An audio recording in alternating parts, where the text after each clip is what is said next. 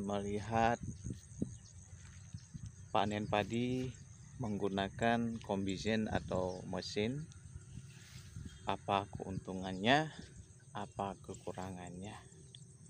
Ya sahabat karena zaman teknologi untuk tidak menggunakan teknologi itu kan tidak mungkin.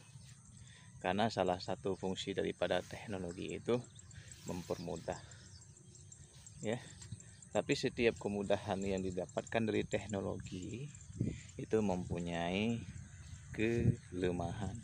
Kadang-kadang kelemahannya sedikit kadang-kadang lebih. Ya. Yang intinya setiap sesuatu yang baru atau teknologi yang baru mempunyai sisi gelapnya masing-masing dan mempunyai sisi terangnya masing-masing. Oke sahabat. Saya tidak akan membahas atau menyudutkan satu teknologi atau itu tapi kita akan melihat hasilnya di lapangan bagaimana. Ya karena kita lihat secara signifikan ini sangat memudahkan tetapi secara sisi lain ini banyak merugikan. Apakah merugikan segi tanah? Apakah merugikan segi pola penanaman padi untuk ke depannya atau bagaimanapun itu wallahu alam kita tidak tahu. Namun kita akan membahas uh, langsung sekarang. Kadang-kadang ketika saya membahas ini ada kekurangan atau tidak pantas sahabat tolong dikoreksi dan dikomentari. Oke? Jangan lupa like subscribe dan share channel ini biar kembali. Sahabat inovasi tani. Ini efek daripada menggunakan kombisen atau mesin pemotong padi dapat sahabat melihat sendiri bagaimana setelah dilakukan pemondokan padi.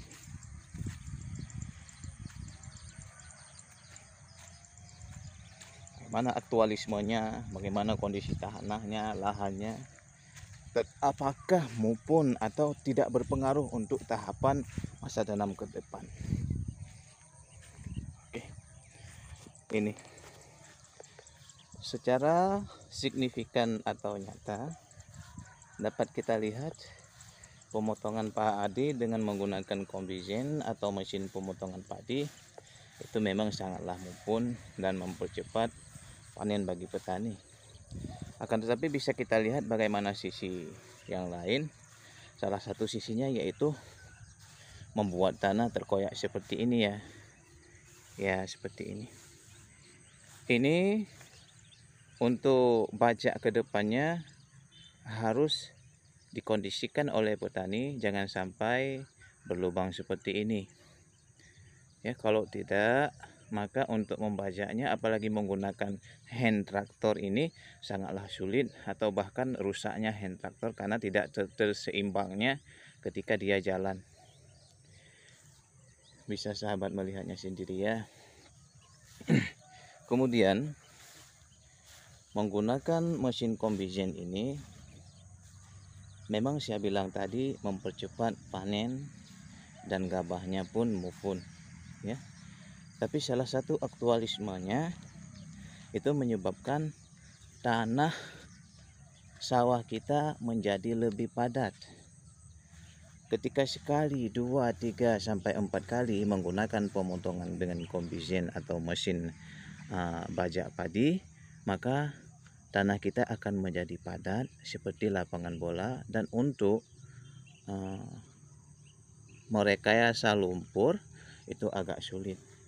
Dan dengan kesuburan padi untuk masa depan uh, masa tanam ke depan pun akan menjadi lebih sulit. Karena apa?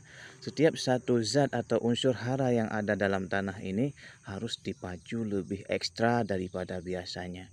Kalau tidak maka tidak akan uh, suburnya padi kita dan tidak akan banyaknya anakan padi kita atau apa pun itu karena padi tanahnya sudah padat. Bisa sahabat melihat sendiri bagaimana kondisi tanahnya.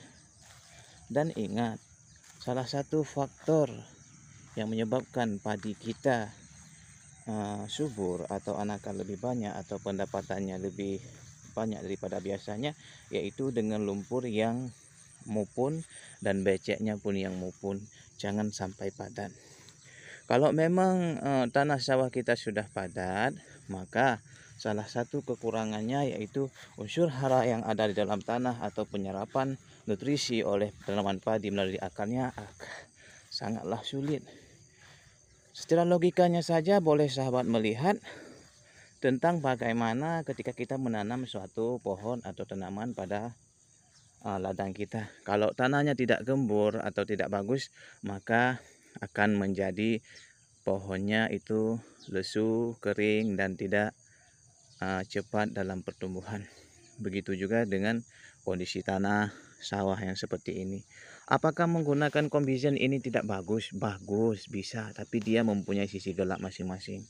Ya, kalau menggunakan kombisen atau mesin daripada pemotongan padi, maka petani harus lebih ekstra lagi dalam perawatan. Kemudian segi pemupukan, kemudian segi menggunakan fungisida dan insektisida yang memang harus aktualisme, harus pintar dan harus mengayomi tanah-tanahnya sendiri dengan perasaan yang sangat luar biasa. Saya sahabat melihat. Memang satu sisinya ini sangatlah bagus karena mempercepat panen. Namun kita bisa melihat sisi yang lain mempunyai kekurangan masing-masing. Untuk kelebihan daripada uh, menggunakan mesin pemotongan padi yang pertama itu biaya untuk panennya murah kemudian mempercepat masa panen dan petani otomatis tidak akan gaduh atau tidak akan disibukkan dengan pemotongan secara manual, pengangkutan hmm, padi yang sudah dipotong kemudian dirontokkan dengan menggunakan mesin perontok perontok ya. Tapi ini bisa langsung setelah panen langsung bisa diangkut anaknya atau bulirnya yang dimasukkan dalam goni atau karung oleh para para petani yang yang yang bekerja upah mengangkutnya. Baik harga satu goni itu 1000 2000 3000 itu terserah.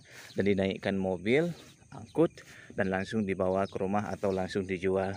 Itu salah satu daripada fungsi dan kelebihan menggunakan komisi oke sahabat inovasi tani bila ada kekurangan dan kelebihan so secara otomatis ini banyak kekurangannya mohon sahabat inovasi maklumi dan silahkan berinovasi, silahkan menggunakan teknologi, namun kita harus jeli dan kita harus mampu mengadaptasi dan merawat tanah-tanah kita yang sudah memang sangat-sangat rusak oleh menggunakan pupuk kimia, pestisida, fungisida dan sebagainya.